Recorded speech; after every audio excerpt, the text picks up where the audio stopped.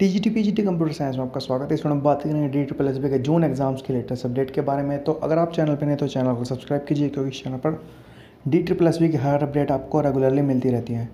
तो वीडियो को शुरू करते तो दोस्तों। डी ट्रिपल एस बी के जून एग्ज़ाम्स का नोटिस पहले ही आ चुका था और बच्चों के फ़ोन पर मैसेजेस भी आ चुके थे, ठीक है? लेकिन अभी तक असमंजस की स्थिति बनी हुई है कि पेपर होंगे नहीं होंगे। तो दोस्तों, दिल्ली में जो फ़िलहाल जो स्थिति है, वो सही दिशा में जा रही है, ठीक है? और जो दिल्ली में जो अनलॉक शुरू होने वाला है जून से तो आपका लॉकडाउन एक तरीके से धीरे धीरे खुलने वाला है और डी ट्रिपल्स भी चाहती है कि एग्ज़ाम ले जाए।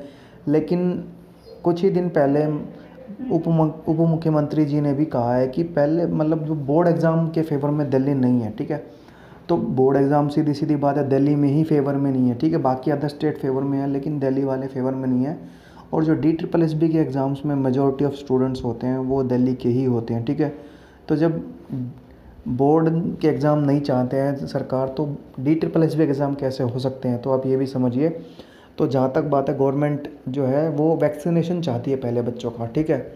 अब आप कहेंगे कि वो ट्वेल्थ के बच्चों के लिए, लेकिन देखो, ट्वेल्थ के और बड़े बच्चों में इतना फ़र्क नहीं होता, ठीक है?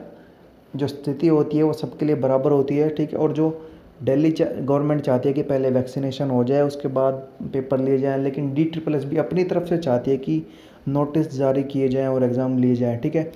तो दोस्तों, आप आप अपने एग्ज़ाम की तैयारी करते रहिए, क्योंकि डी ट्रिपल एस अपनी तरफ़ से एग्ज़ाम नोटिस बिल्कुल जारी करेगी और नया नोटिस भी जारी करेगी, लेकिन जो गवर्नमेंट की फेवर देखी जाए तो गवर्नमेंट की फेवर है एग्ज़ाम को पोस्टपोन किया जाए, ठीक है? तो दोस्तों डी ट्रिपल एस बस वेट कर रही है कि ये लास्ट वीक ये जल्दी निकले और अनलॉक शुरू हो जाए, ठीक है? लेकिन जहाँ तक चांसेस हैं कि पेपर पोस्टपोन होंगे, ठीक है? फिफ्टी फिफ्टी चांस बन गए हैं अब, क्योंकि दिल्ली में अनलॉक शुरू हो रहा है और स्थिति बिल्कुल ठीक होने की साइड बढ़ रही है, ठीक है? तो आप अपना टाइम जो है तैयारी में लगाइए, ना कि उल्टी सीधी बातों में। आपका एक, अपनी तैयारी पूरी होनी चाहिए। आपको अब अगर पेपर अभी ले लीजिए तो आपको इतनी तैयारी होनी चाहिए कि आप सिलेक्शन ले लें, ठीक है? अगर पोस्टपोन हो भी गया तो भी आपको हद से हद तीस दिन मिल सकते हैं, इससे ज़्यादा बिल्कुल नहीं मिलेंगे। अपने तैयारी करते रहिए।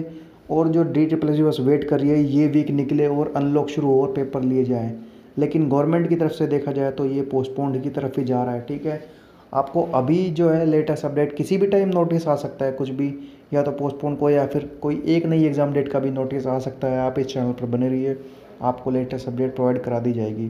तो इस वीडियो में इतना ही, मिलते हैं नई वीडियो में नई अपडेट के साथ। Thank you